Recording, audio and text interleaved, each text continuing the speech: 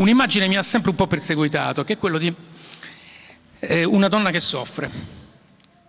E questa donna che soffre e che cerca uno sposo e che desidera uno sposo, che poi è la grande avventura del Cantico dei Cantici, di questo bellissimo libro nell'Antico Testamento. Ehm, mi è sempre un po' sembrata l'immagine della natura umana, dell'anima umana. Tutti attendiamo uno sposo, attendiamo uno sposo che ci liberi da questa nostra solitudine, da questa nostra profonda imperfezione.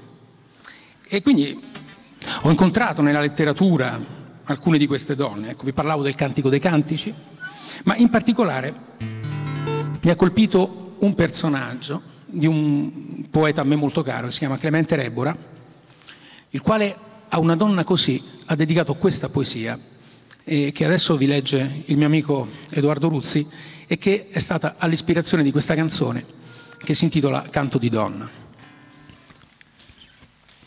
Lungo di donna un canto si trasfonde, come azzurro vapore, dai clivi lambiti dal sole d'autunno, che stanco dirada l'ardore delle fronde e nuvole scioglie cercanti sopore. Nel vuoto sostare dell'aria ascoltante la voce mi palpita in cuore e le bellezze ripenso che sole vaniscon senza amore. Baleno d'oro non giunto al guizzo, pianta nel succhio di velta, tizzo scordato sotto la cappa a sognare la fiamma, alito non respirato, bacino schiusi, forte corpo senza amplesso. Dai clivi si versa, si esala, dispera, l'umido ombrare violetto. A casa a spremer la sera.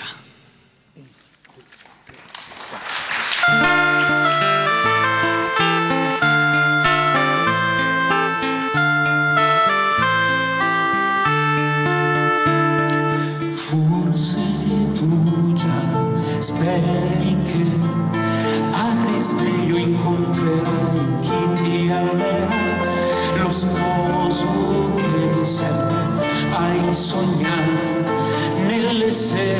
tristi del lungo gennaio. Ed hai vagato anche questa mattina sola tra i monti cantando canzoni. La neve già si colora di rosa un tenero tramonto dipinge il sole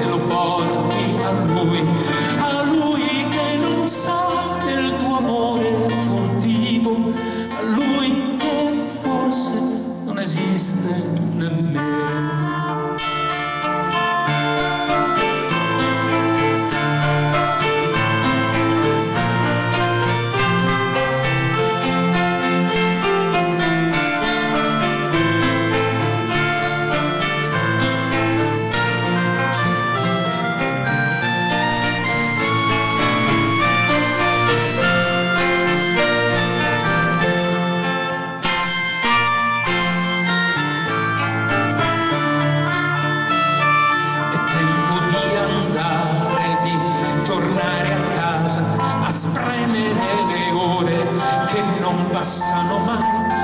Ritornerai all'antico ricamo che anche questa sera non finirai. E le lacrime che nessuno ha mai visto saranno ancora la tua compagnia.